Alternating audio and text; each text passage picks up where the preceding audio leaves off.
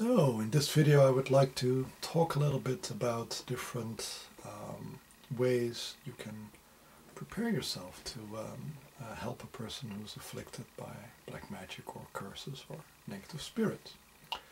So I talked earlier about these uh, four levels of energy. So I'll repeat it again from uh, elemental energies, life force, astral and higher energies. And on all of these four levels there can be a battleground, but these battlegrounds are separate from each other. So it's important to find out which is going to be the main battleground and where should be yeah, the most of your awareness or the most of your preparation. If you know where, um, on which level you're going to um, act, then it's also very important to try to gather allies on that level and tools on that level. So um, finding allies can be both physical allies, they can be like friends who you will yeah create a prayer circle with or do a ritual with or will some other way um, yeah create a supportive or safe atmosphere or place uh, or energy around you and the, and the client to um, Um, yeah, to help with the work. And yeah, I cannot stress enough how important this is because the amount of energy you can generate is very limited and also very unbalanced because I have blind spots, I have yeah, instabilities. And if you have two people, you cover each other's blind spots and compensate each other's instability. So two people often more than twice as powerful. And if you go up to three or four people, then yeah, the amount of blind spots, yeah, are in a way halved and halved and halved uh, again and again and again. So yeah, you really can create a very strong fortress with a, with a small group. So the it's really a, a power multiplication, even if the other people are not actively engaged just having their energies available to you can really mean a lot and do a lot. Uh, by having them, for instance, um, run defense while you run offense, or one person maintains the, the area, one person uh, takes care of the uh, of the client, and the other person uh, um, assists you in uh, removing the curse or the evil spirit, for instance, or another person will is there even to call for more assistance and provide you with the tools which are needed. So if you can get a team together, that is great. If you can't, well, then you'll have to make do with what you have. In general, what you see is that people start out needing a lot of tools and slowly but surely they start integrating uh, these tools into their own energy bodies. Um, so a tool is in a way uh, also a teacher how to do something until you can do it yourself. You will need that tool. So I will start with uh, talismans. Talismans are things which in a way protect you, give you a kind of a stability. So here is a very popular one.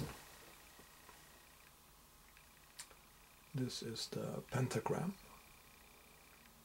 and this is a pentagram with a circle around it, actually a double circle around it.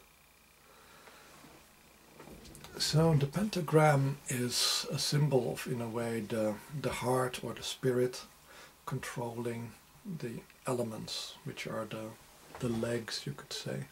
So the pentagram has a heart, and then the elements around it with the uh, typical elements are uh, earth, water, air, fire, and then in a way the ether, the, the life force, all controlled by the spirit. And often circles are seen as uh, binding, containing, or harmonizing.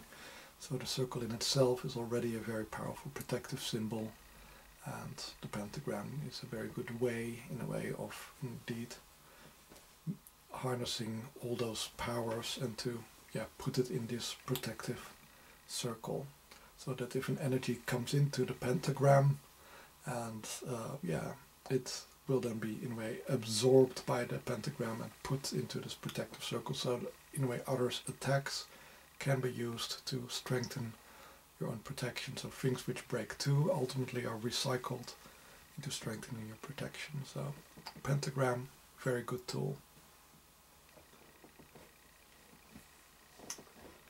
Another tool which can be used is, in a way, the tree.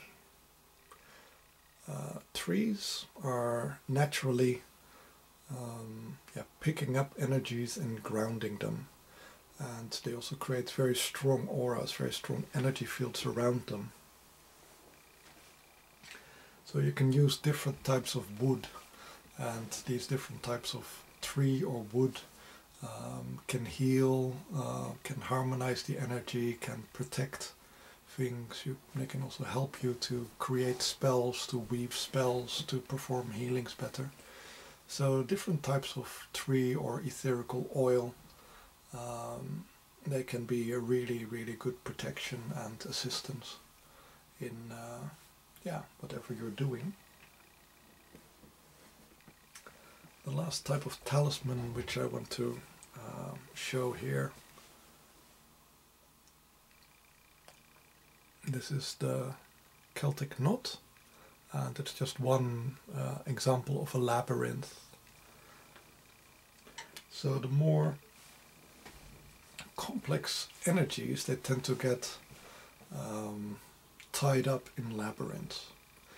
Um, so you can see that in a way if an energy is a natural energy, it is like a very small grain energy, so it is not crystallized, it just flows naturally. It's, it's very good at permeating everything. Life force just flows. Energy of the earth just flows through everything. It permeates things. But if things are more complex, such as a curse or a spirit or something like this, then it is no longer as liquid. It's kind of a crystallized form. It cannot go through these little holes or, uh, yeah, bend itself out of shape as easily. And this is basically what uh, um, something like a, uh, a labyrinth does. It allows these uncomplex energies to yeah to go through, but the more complex energies can't go through. So putting yourself inside a labyrinth is a very good way of uh, yeah protecting yourself or shielding yourself from your environment. And obviously for all these things it is important that they don't just exist on a physical level but also on an energetic level so that if you're working with a specific type of energy then the labyrinth should exist on that level of energy um, so if you're working with an astral force then you should create an astral labyrinth or charge your, your labyrinth with astral energies so it won't be penetrated that easily so protection is always step step one because if you're unable to do anything, then the battle is lost. And usually these battles are not won with one blow. They often take weeks or months. Uh, if you're lucky, the battle is over in a few days. But spirits and uh, uh, magicians tend to be kind of tenacious uh, because it takes a lot of yeah power, discipline to become a magician, to learn to, to work with these types of magic. So there are, yeah, people with a lot of patience, with a lot of discipline, who don't give up easily. So besides protecting yourself with these things, it's also important to have some things which enhance your power. So I talked already about getting allies. Um, but it's also possible to use blessed objects. Like for instance um, this. Um, this is a symbol of the hammer of Thor, a great friend of mankind, protector of mankind, and very useful. It has a very strong energy. So it can help you in a way to smash other energetic structures like curses. Um, so by wearing symbols like this, blessed objects, the energy which is in the object will also, yeah, in a way, flow into you become part of your energy body, giving you a similar power. So this can be compared a little bit to the people who are allowing another spirit to take possession of their body, but instead of allowing Thor to take possession of my body, I'm just using an object which is blessed. And it can also be done, of course, with a Christian object like the crucifix, for instance. This is also a very powerful tool. And the nice thing of the crucifix, this is a, a golden crucifix, is that it is not just empowering but also in a way harmonizing and protective. So it works both as an amulet, which gives you powers, and a talisman, which gives you protection.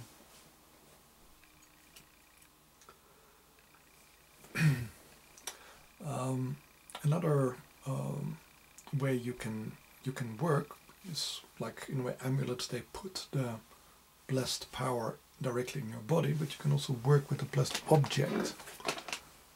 Like for instance, this is an antler. And the antler can also be used instead of your hands. So for instance, if there is a curse, instead of in a way trying to grab it out of the aura with my hands and then creating the risk that it will flow into my energy body and uh, mess up my energy body and block my chakras and my energy channels. I could, for instance, use the antler to say like, okay, if there is a curse there, I will scoop it up with the antler. The antler has, in a way, a lot of, exists on a lot of different levels of energy. Is connected to a spirit who will assist me and control the energy of the antler and this way I can you know scoop things out of the energy body without risking my own energy body. There is a possibility that in a way the antler itself will carry the curse and become corrupted and other things, then I would have to find another antler. But that's better than it happening to me. And of course, with shamanic objects, don't take things against their will. Um, only use things where the spirit is actually willing to do that. Don't go doing black magic and binding spirits to your shamanic objects. I hate that, and if I find out that you're doing that, I will free that spirit. So it really, really upsets me that so many shamans are abusing nature and nature spirits that way. I know many of people doing that are unconscious and they want to work with nature, but they, yeah, just take too many liberties. Okay. In the next video I will talk a little bit about the more offensive tools.